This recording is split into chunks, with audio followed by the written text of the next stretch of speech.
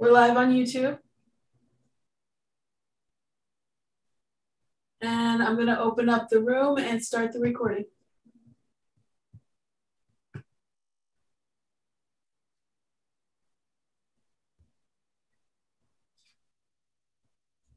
Hello, all. Welcome to tonight. And thank you for being here. We'll get started in a few minutes.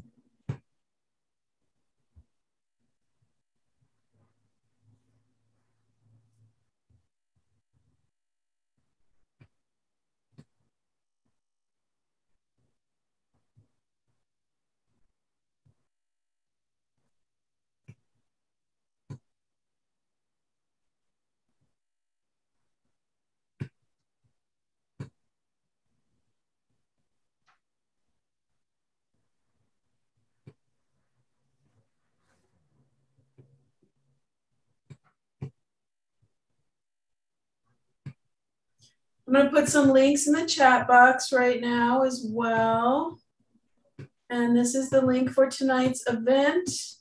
Has library news as well as links to our presenter. And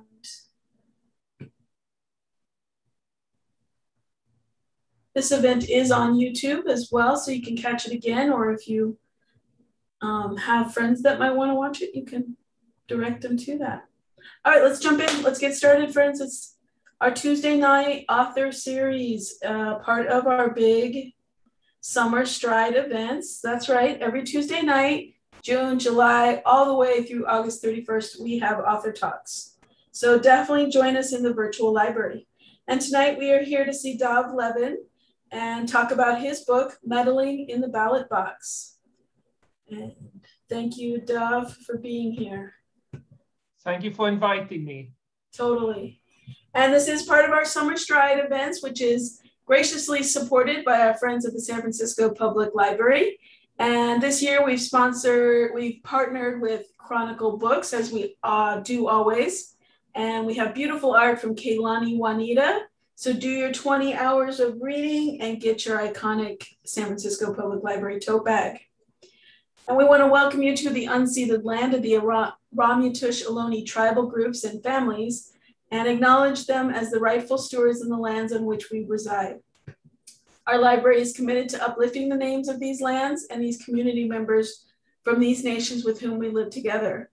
Our library is committed to uh, providing useful and factual information on the topics of first person and land rights, the link that I put in the chat box has a great resource and reading list about uh, first person culture, Black Lives Matter, and lots of other great reading lists. So we love making reading lists at the library. So check that out.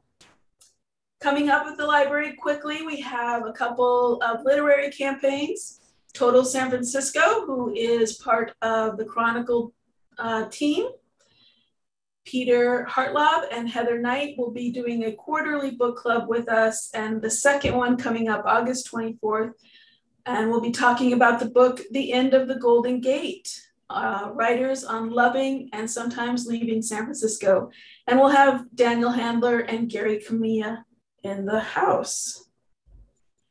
On the same page for July and August, and this is our San Francisco Public Library's bi monthly read where we encourage all of San Francisco to read the same book. And we're celebrating Jacqueline Woodson and her book, Red at the Bone.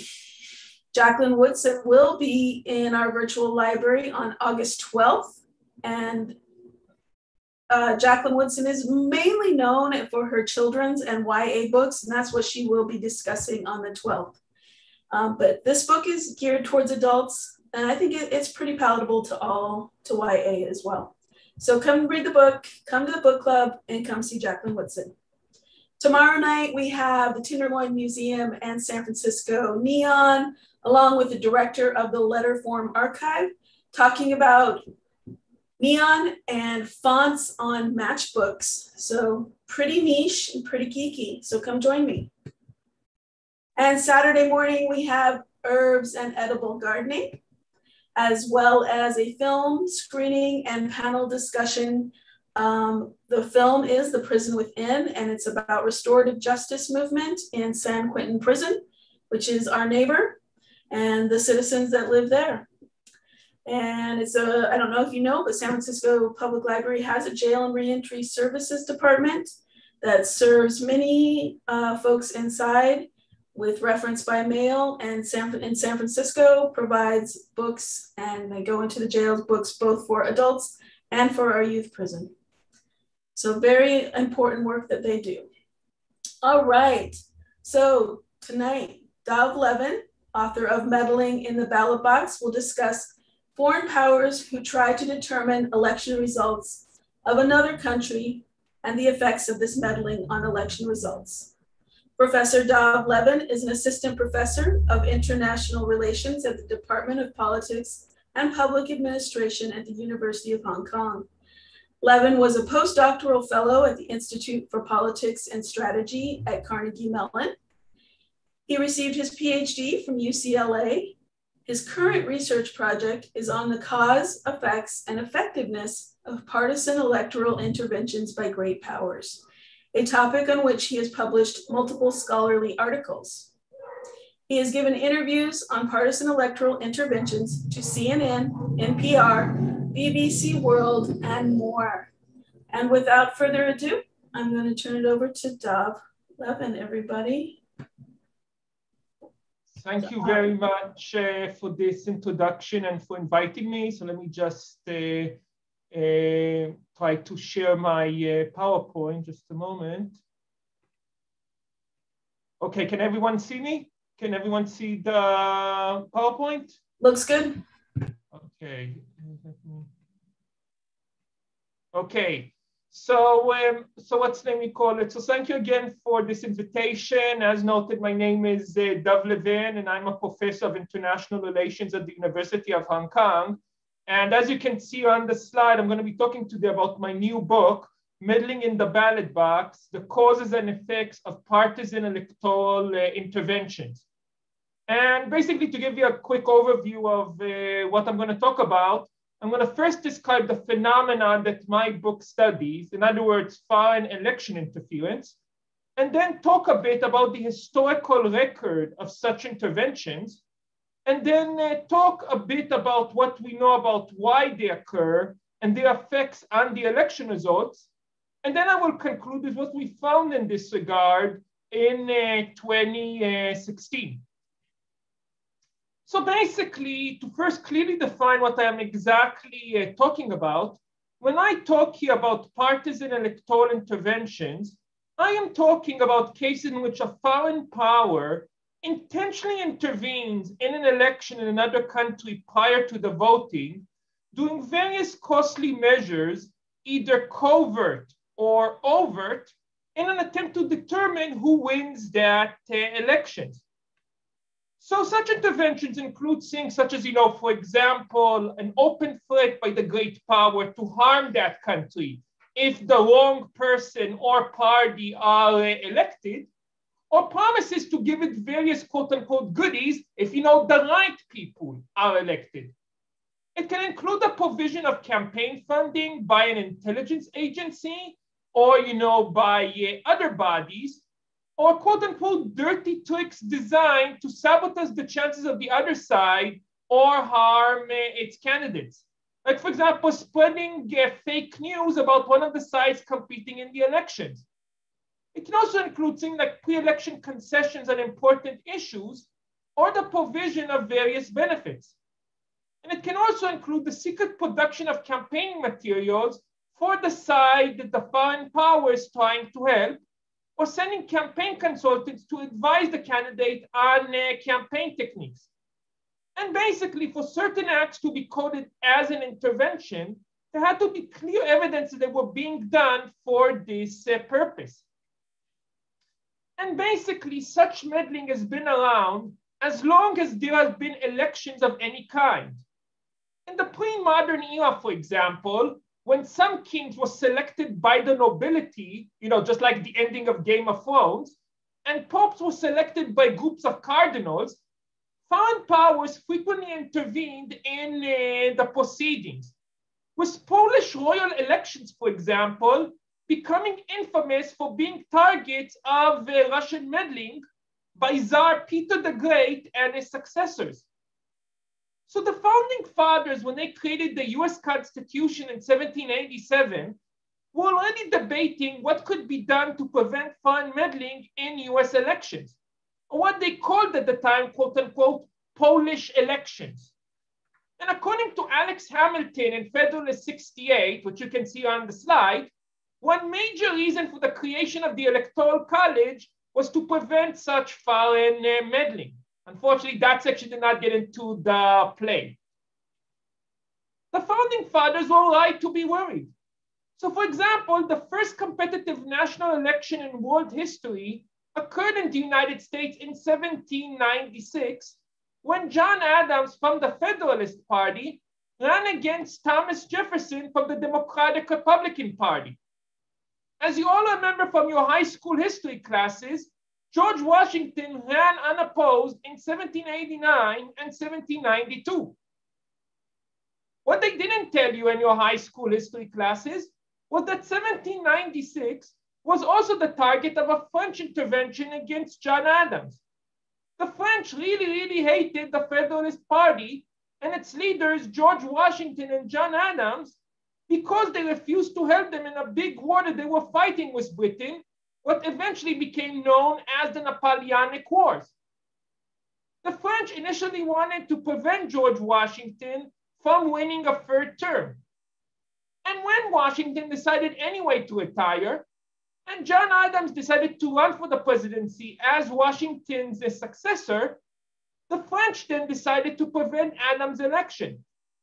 So the French ambassador to the United States, a guy called Pierre Adet, the guy who could see his picture on here on the slide, basically threatened a week before the elections that if John Adams is, election, is elected, France will declare war on the United States.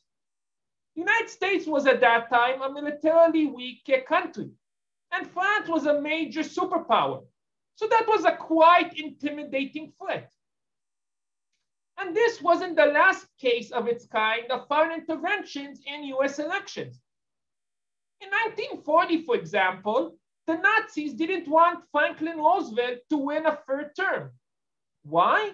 Well, because they were worried, quite correctly, that if FDR would be re-elected, he would eventually find a way to get the US involved in World War II against the Axis and use America's power to defeat their plans to, you know, take over the world.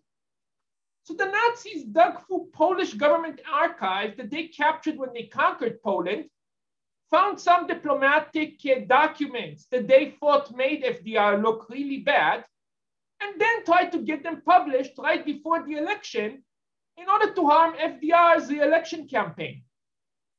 Now, there was no WikiLeaks in 1940, and many American newspapers refused to have anything whatsoever to do with the Nazis. So instead, the German embassy in Washington, D.C., secretly bribed the editors of an American newspaper, which then published these documents five days uh, before uh, the elections, without, of course, informing the American public from where they got them. After World War II, the Soviets also began to meddle in American presidential elections.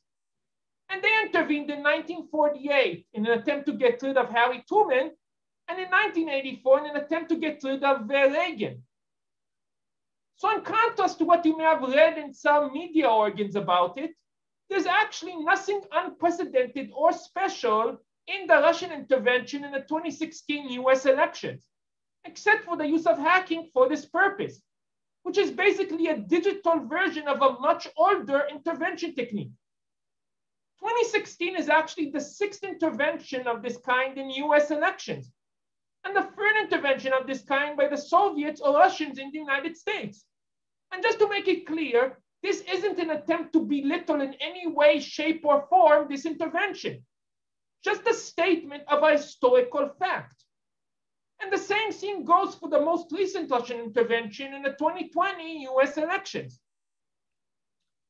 And of course, the United States wasn't the only target of such interventions. And after World War II, both the United States and the Soviets began to intervene quite a lot in elections in other countries. And for my research on this book, based on the definition I gave you a minute ago, I constructed the PEIG data set for partisan electoral interventions by the great powers.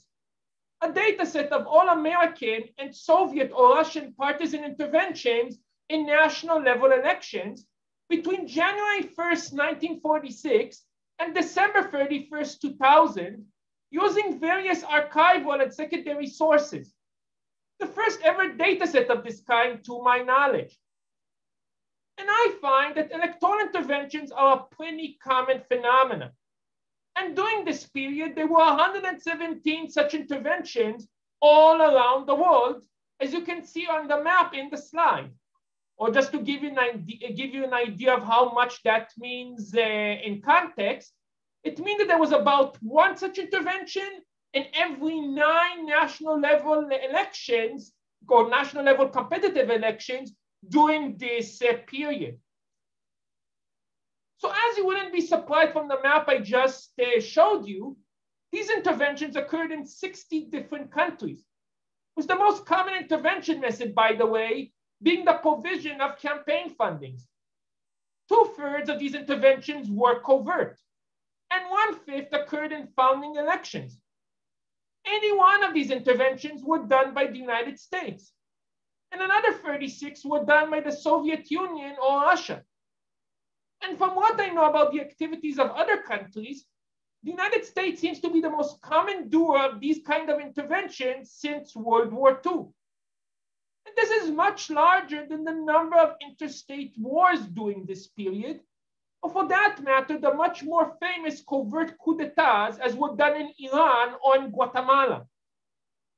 In other words, this book is discussing a policy tool which is one of the main ways that great powers use to manage their relations with democracies, with competitive authoritarian regimes, you know, regimes that have, you know, uh, very flawed elections and are not very democratic, and with other countries as regimes between these uh, two poles, which is somewhere between half to two thirds of countries around the world nowadays.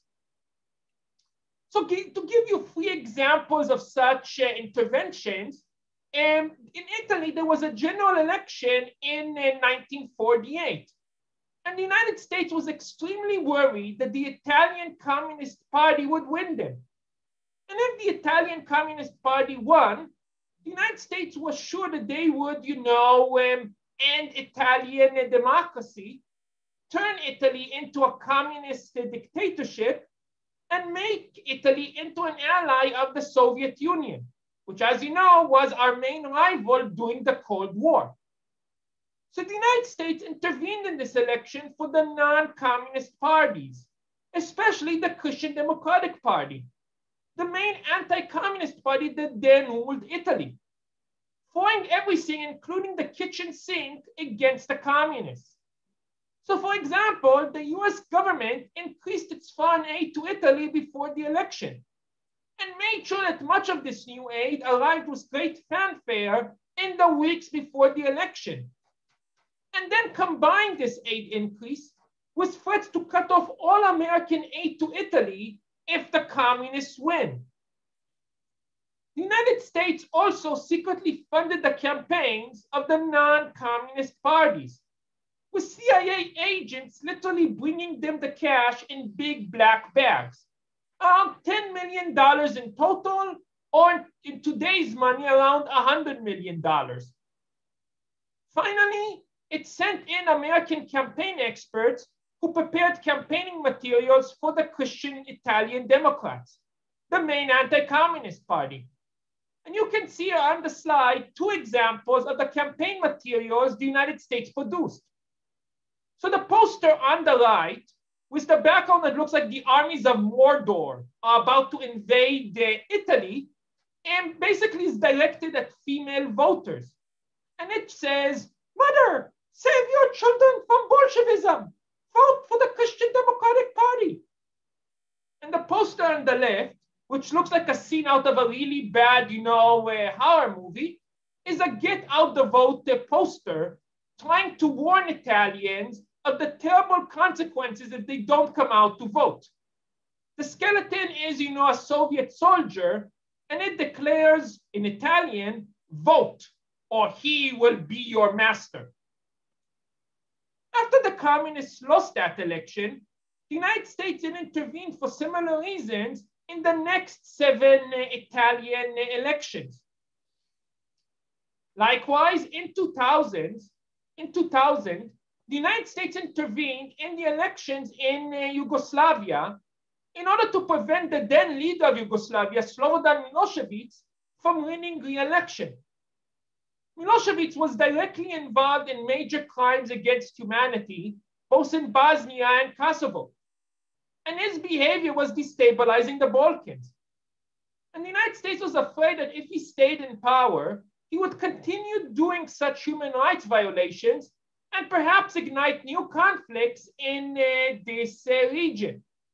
So the United States intervened in this election for the Serbian uh, opposition, and the main opposition candidate of the opposition, a guy called Vojislav Kostunica.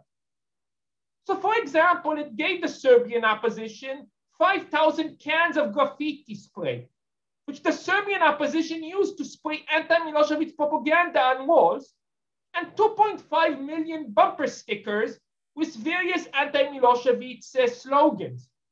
For a country uh, with a population of 8 million people. In other words, one campaign sticker for every three Serbs.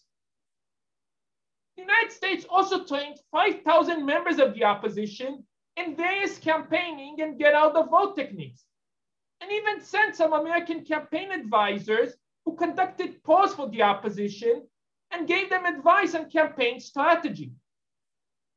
Finally, in the week before the election, in a last-ditch attempt to boost Kostunica's chances, the United States also publicly promised to remove its sanctions on Yugoslavia, which were causing serious economic harm to the Yugoslav economy, if Milosevic would lose power in Yugoslavia. Likewise, the Russians also intervened in elections outside of the United States. So for example, in a prequel to recent events in uh, the Ukraine, the Russians intervened in the 2004 Ukrainian elections. And you can see on the slide some of the posters that they prepared in order to help Yushchenko. What you see are covertly supplied campaign materials two samples of campaign posters captured by the quote unquote orange parties. The one on the left shows opposition candidate Yushchenko as a supposed devil in disguise. And the one on the right has George W. Bush shown as supposedly saying, we are for our Ukraine, which is Yushchenko's party. Okay, so we see that these interventions are pretty common. So why do they occur and what are the effects on the results? Well, there's actually very little scholarly research on this topic until the last few years. And this book is the first academic book focused on answering this question. As for why electoral interventions occur, I argue that electoral interventions occur when two concurrent conditions exist. First, the great power sees a particular domestic actor as severely endangering its interests as to that country. Basically, it's the motive for such an intervention.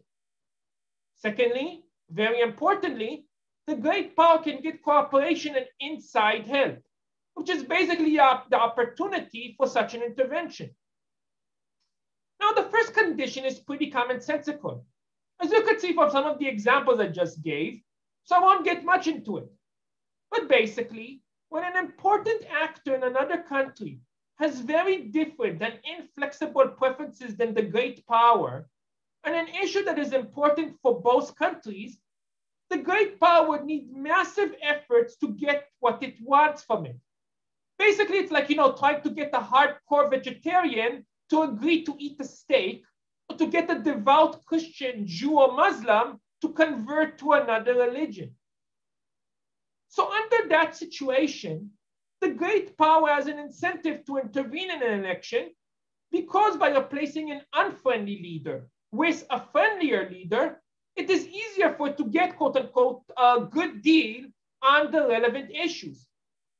And because that an electoral intervention is cheaper than, say, a war, or giving massive amounts of foreign aid as quote unquote a bribe, it may be cheaper, more effective option in countries with competitive elections. But usually, this is not a sufficient uh, condition. It is not the only available option for the would-be intervener. And if an electoral intervention isn't feasible, it will choose other costlier means, except in the very rare cases where it has no other options. And I argue that it's feasible only if you, as the foreign power, can get another significant political actor in that country to agree to receive such aid from the great power. Why is that? Well, I claim that electoral interventions are basically inside jobs. The would-be intervener needs a local actor to cooperate in such an intervention because an electoral intervention basically means running or helping someone's election campaign. So in order to succeed, you need the same kinds of high quality information that domestic candidates have and use for this purpose.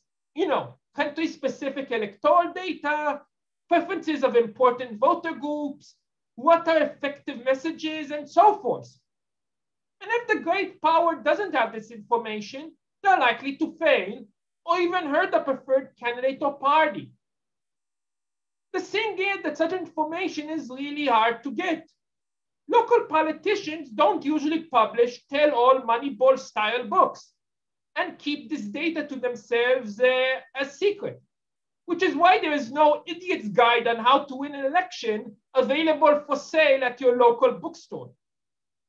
And because American and non-American policymakers don't understand other countries' politics, they're unable to collect enough. So without cooperation, they won't have the data they need in order to intervene effectively. Just to make it absolutely clear, there are, of course, you know, some exceptions. For example, in the Soviet intervention in the 1984 US elections, which I mentioned a few minutes ago, there was no cooperation whatsoever between the Soviets and the Democrats. But the Soviets tried to intervene anyway in, in those elections against Reagan. But usually, if the great power cannot get cooperation from a domestic actor in the target, they simply won't do it. However, getting outside help can also hurt the domestic actor. If it's covert, the exposure can harm, of course, the assisted side. And in general, such interventions may reduce its electability in the long term because it can get tagged as quote unquote the stooge of the foreign power. In many countries, having that tag is the end of your political career. Like becoming known in the United States that you hate the American flag, motherhood, and apple pie. And its own voters may help, hate the fact it's getting hate, help from a foreign power and not vote for it in later elections. Also, this foreign help can come with strings or conditions, which you, in other words, a need to agree to certain policies if they are elected. And the local politicians may not be willing to agree to them. So local politicians will agree to such interventions only if they're in a pretty bad uh, political shape. I use the term a fragile victor or blocked weakening loser. Basically, in those situations, you have a very good reason to believe that you will not win the next elections and the ones after it, either because of an extremely weak political position or being locked out of power, either formally or informally. And an intervention is a way for you to try to dramatically improve your political situation. The football term for it is a quote unquote Hail Mary. So in my book, in order to study the process of why such meddling happens, I went to archives all across the United States and read thousands of declassified documents, you know, from the White House, the CIA, and the State Department, in which they discussed whether to intervene or not in various elections all around the world. And in my book, I have six in-depth historical case studies from various countries around the world, in Latin America, Asia, and Europe. in which the United States intervened in elections or seriously thought of doing that. And I will now describe one of these six intervention cases in depth. The American partisan electoral intervention in the 1953 West German elections. And in the case of the 1953 West German elections, the main issue in dispute was the EDC, or the European Defense Community, a planned EU-style organization, just one focused on military, not economic integration. And this was supposed to create a common European army that would help the United States defend Western Europe against the Soviets. As you all know, this is the early Cold War era. And one of the early heights of the American rivalry was the Soviets during this era. And the Soviets had in the early 1950s a big, well equipped army of 5 million soldiers in Eastern Europe. And the United States was worried that they may use that army to invade Western Europe and quickly conquer it. The only way to defend Europe from such a possible Soviet invasion, you know, basically hold off the Soviets until the US could ship in large numbers of American ground troops, was to get a West German military contribution for this purpose. But naturally, given that World War II just ended a few years beforehand, the United States wanted to avoid the creation of an independent West German military for this purpose which the United States was very afraid could lead to a new wave of German aggression. In order, for example, to reunify Germany, which was divided in, in this era into two separate countries, West Germany and East Germany, or to take back German territories handed over to Poland at the end of World War II. And that could lead potentially to another world war. So the Eisenhower administration saw the EDC as a way to solve this big problem, helping it with its main interest as that it had as to West Germany and as a way to square the circle by avoiding the creation of a German military, but getting a German military contribution by a European military.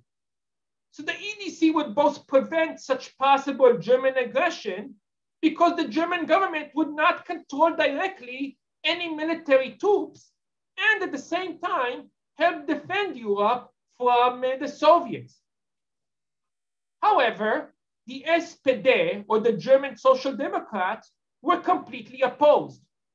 They saw the EDC as preventing the reunification of Germany, a cause to which the SPD leadership was deeply attached, both for personal and nationalist reasons, as well as protecting it politically from accusations of being insufficiently nationalist. At the same time, the CDU and Adenauer are in a very bad political situation in early 1953. Sorry, to just give a few examples, Adenauer, the German chancellor, the guy whose picture you can see in the background of this slide, has a 34% approval rating. The CDU is badly organized, and Adenauer by then is a 77 year old person and is seen as a temporary placeholder. You know, there was literally headlines, you know, where many times of, of uh, the nickname of Adenauer of the mummy, because he was seen as so old. So, you know, you literally see headlines of the mummy said this or the mummy said that in some German newspapers because they all saw him, you know, as he's about to die. The CDU only won the previous elections in 1949 only because of a huge last moment gaffe by the then leader of the SPD. The CDU is non-stop behind the SPD in all surveys for nearly three years. And with the CDU losing one lander or German midterm election after another, getting an average only a quarter of the vote.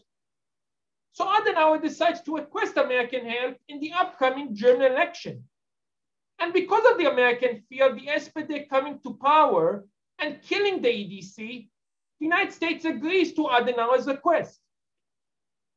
So following Adenauer's request and the American agreement to help him in this election, the United States began to help Adenauer in various costly ways in the run-up to this election in the ways that Adenauer requested them to.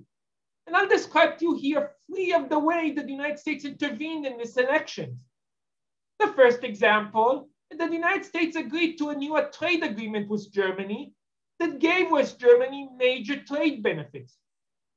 The second example is a food aid program.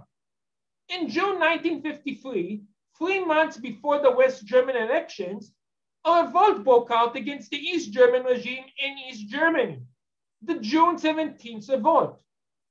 This revolt was brutally suppressed by East German and Soviet troops, with hundreds of East Germans killed. But given the circumstances of the Cold War, the West German government couldn't do anything to help the East German protesters, despite West German public pressures to quote unquote do something. And that made Adenauer look very bad. So Adenauer thought up of a creative way to do something, but he lacked the resources to do it itself. So he asked the United States to fund it, which it agreed to do. Basically, the United States gave Adenauer food, which the West German government then handed out to hungry East Germans at the cost of $15 million or $115 million in today's money to the United States. Giving Adenauer a way to quote unquote do something and make the West German public happy with him.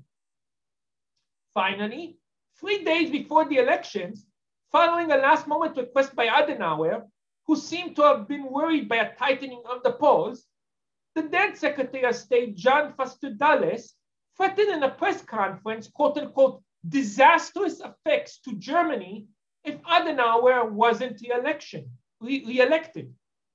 Then Adenauer and the CDU win the elections. Okay, so this is why such meddling occurs.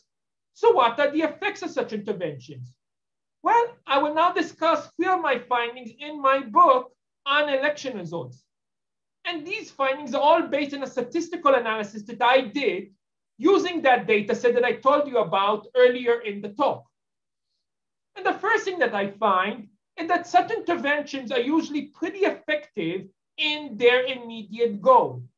In other words, in helping the electoral chances of the side that you are trying to help, with the average effect being a 3% increase in the vote share of the assisted side. Although to make it absolutely clear, this is an average.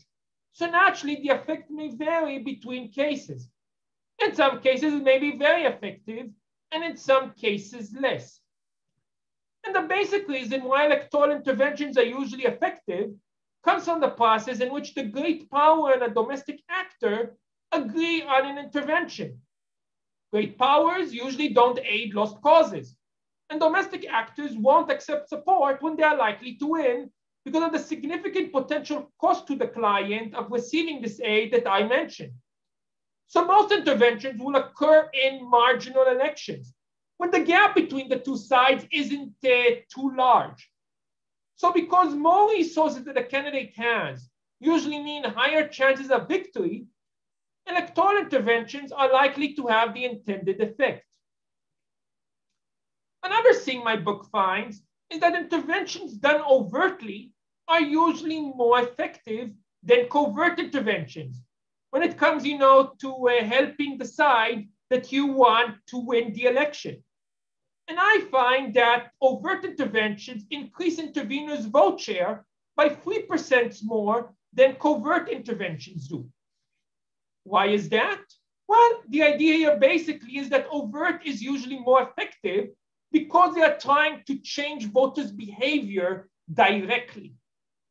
In overt interventions, great powers like the United States or Russia are speaking to voters above the local politicians' head. And because the US government has a lot of resources at its disposal, usually more than those of the local politicians, it can, you know, outbid them. You know, and you can think basically about an election as many times being, you know, one of those bidding competitions. You know, one politician uh, promises, you know, if you vote for me, you get a chicken in every pot. Another politician says, no, no, if you vote for me, there'll be two elect two chickens in every pot. And then the foreign power can come in and say, if you vote for this guy, then there will be, you know, two chickens in every pot and a brand new stove. In covert interventions, in contrast, the United States and other interveners only try to affect voter behavior indirectly. Like, you know, you know, giving money to a campaign that will then be able to put, you know, more election ads on TV. Of course, sometimes the United States cannot use overt cases in which there may be a nationalist backlash against any open American meddling.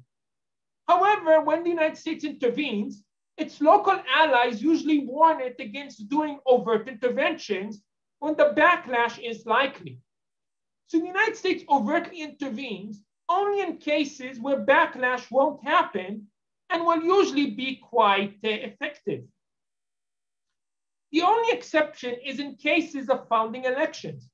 In other words, the first competitive elections ever in that country after a long period of full authoritarianism. In those situations, electoral interventions usually harm the side the United States is trying to help. Why is that? Well, the side that the, United, the foreign power is trying to help usually knows very little about winning elections because it never ran in them before. You know, basically what hap- what the equivalent for any of us is, you know, riding the bicycle for the first time. So frequently the local actor asks for the wrong things from the US government and the United States unintentionally makes its political situation worse rather than better, reducing its vote share by 6.7% on average. Now, of course, you may ask how these estimated effects applied in real life intervention cases. So in this table that you can see on the slide, you can see the estimated election results in six intervention cases with and without the electoral interventions that are derived from my statistical analysis. Now, I cannot go over each one of these cases in detail due to time constraints, although I'd be happy to talk about any of them if you are interested in the Q&A. But to give an example from one case that I mentioned earlier, the 2000 Yugoslav uh, presidential elections, where the United States aided the challenger, Vojislav Kostunica, in order to remove Slobodan Milosevic, the incumbent and president of Yugoslavia. And I estimate that this intervention against Milosevic was quite effective. And without this Western intervention against Milosevic, his opponent, Vojislav Kostunica, would have not gained an absolute majority in the first round and would have finished neck and to neck with Milosevic.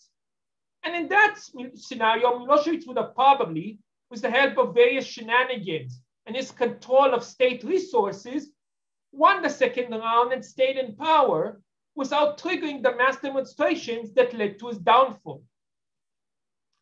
Naturally, you'd, you'd all be interested in how these findings apply to the Russian intervention in the 2016 uh, case. And in one of the chapters in my book, I analyzed the 2016 case, and I will give you here um, my key findings. As for the causes, we still have very limited information about why Putin intervened. But the key reason seems to have been his very deep fear of Hillary Clinton, whom he saw, as some Russia experts describe, as an existential threat. Why? Because Putin feared that Hillary would start a Cold War with Russia if she became president, such as expanding American sanctions on Russia due to Putin's invasion of Crimea and selling high level weapons to the Ukrainian government. Likewise, we shouldn't let Trump's later victory in 2016 obscure how bad his political situation was in mid 2016 and how everyone, including probably he himself, was sure that he would lose. You know, he was lagging constantly behind Hillary in the polls for months at end. A 20 to 1 disadvantage in campaign funds in early June 2016 and a large share of the GOP establishment refusing to unify behind it, with many, for example, being no shows in the 2016 GOP convention.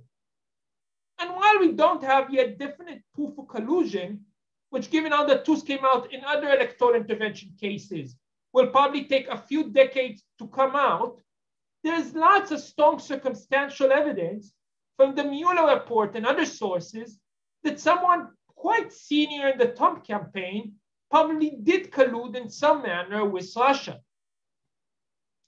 As for the effects on the election results, I found strong evidence from three different sources that the Russian intervention played a key role in Trump's electoral college victory in 2016.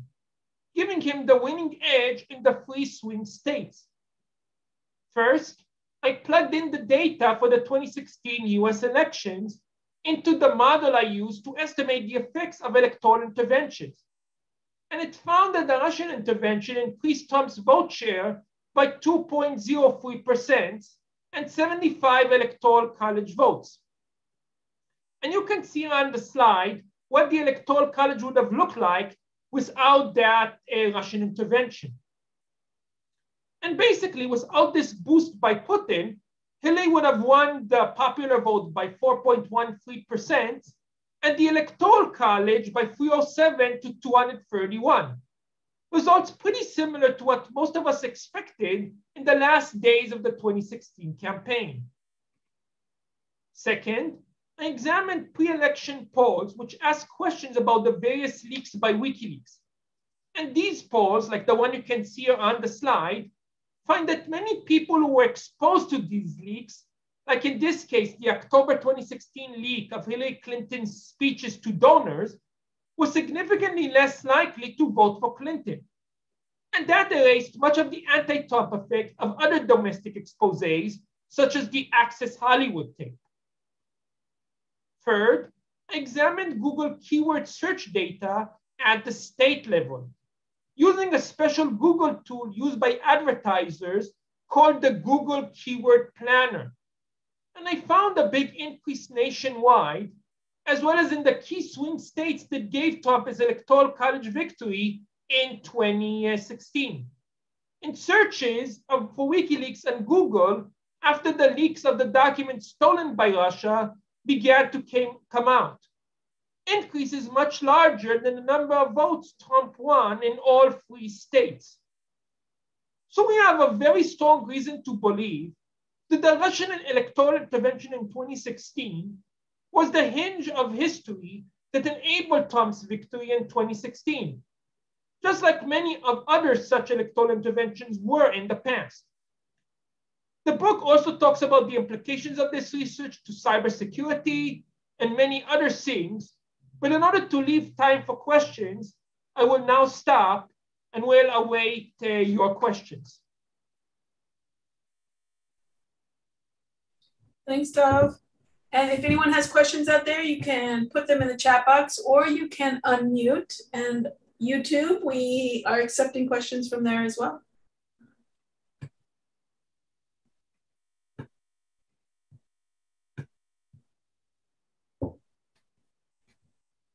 This has been your main research stuff?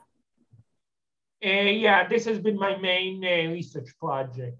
Mm-hmm. Uh, what's the name you call it? Uh, for much of the past decade. I began working on it long before Vladimir uh, Putin uh, decided to meddle in 2016.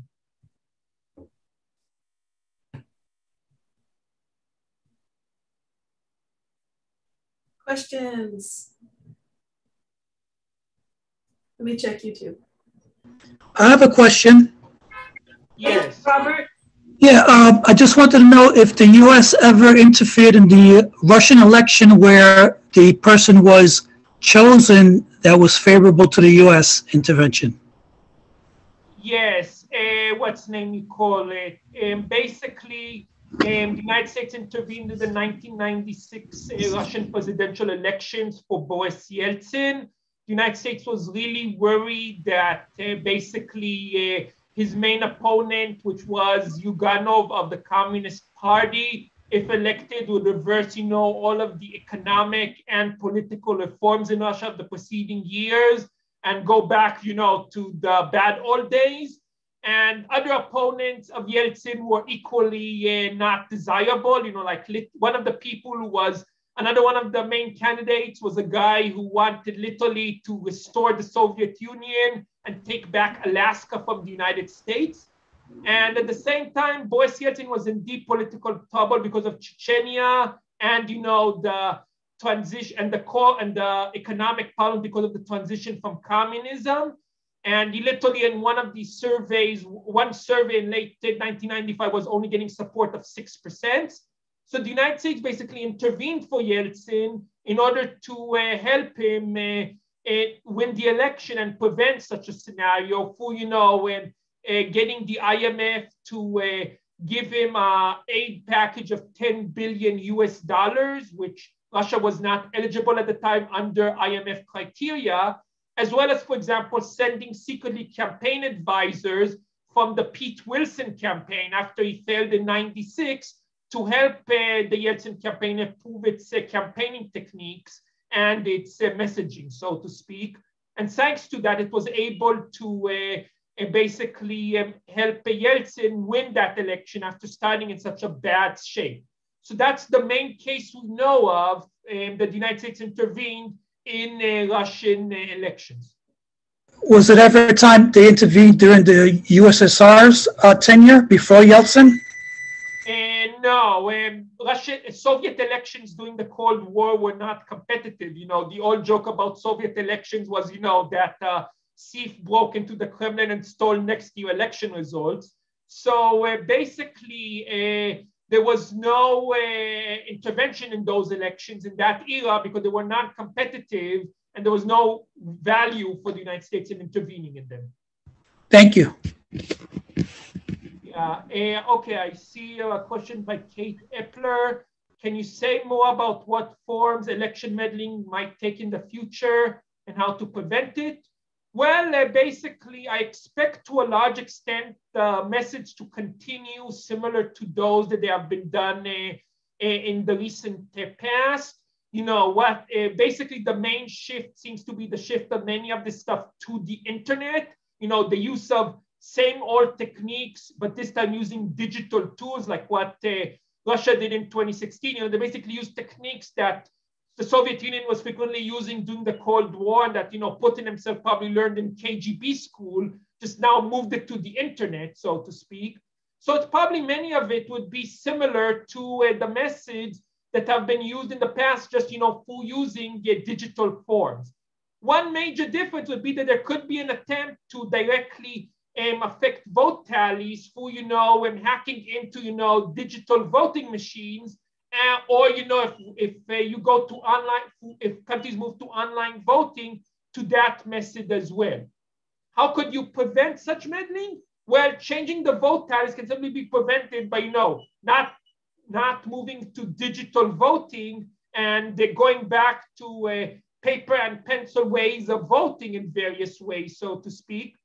Other methods of intervention, you know, the, the type which are frequently used are much harder to prevent but one way that you can at least, and it's really not, we don't advocate that you can prevent them, but you, but there are probably some way that you can manage them and reduce their effectiveness.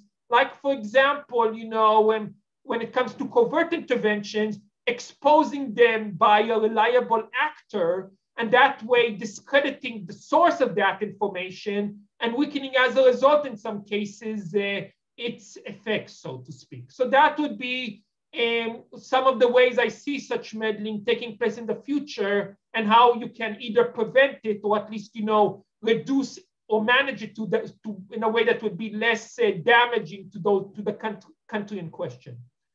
Um, see another question by Gianna.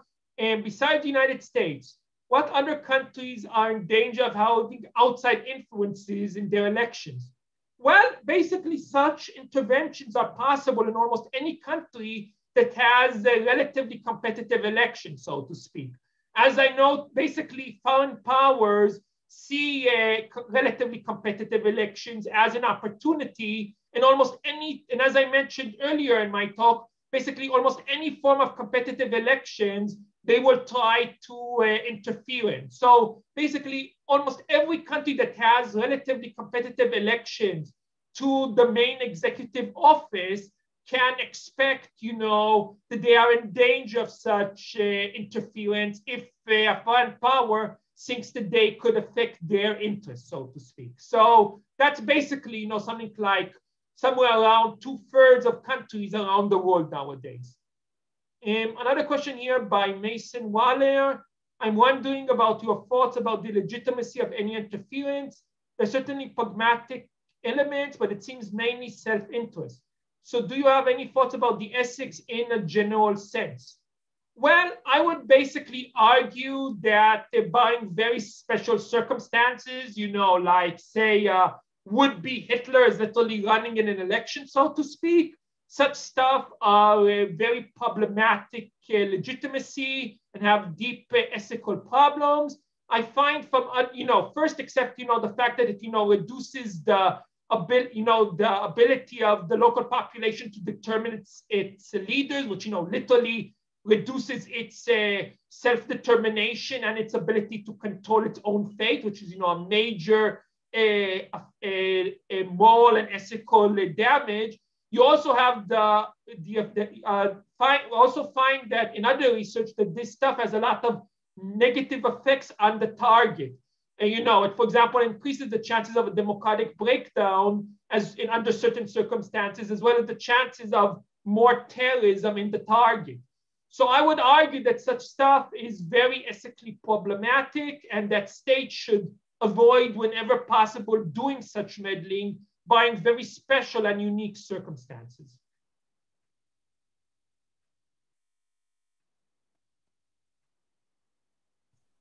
Would anyone else like to ask any questions in person?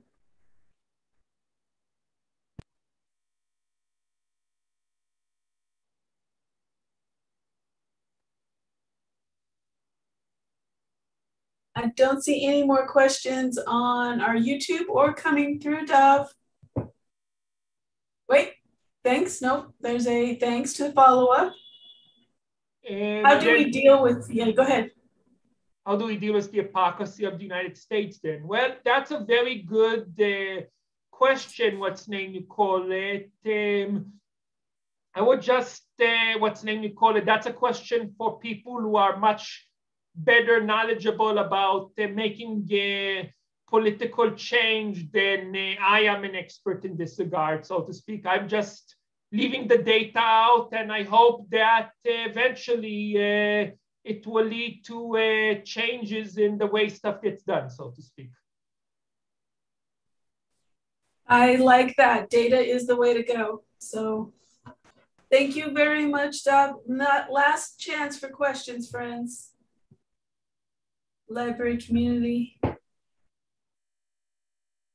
All right. So um, Dov generously has a 30% discount code on his book. Uh, you can email him there, and I put it in the chat as well. I'm going to one more time put the links to tonight's events with library news and links to Dov's sites and how you can check out the book at our library, but also pick it up with 30% off. And wait, let me come back on. Um, we appreciate you very much being here tonight, Dov, and library community. We appreciate you coming out. Come by tomorrow night, same time, same channel for some yeah, SF Neo. Thank you very much for this invitation and for any of your questions uh, and for all of your questions. Thank you so much. Thank and you. Thank you. Yeah. You, and this is a meeting. Everyone can unmute if they want. Thank you. Thank you. Thank you. Thank you. All right, friends. Have a good night. Alan, thank you for the tech hosting. And Dov, we appreciate you being here. Good night.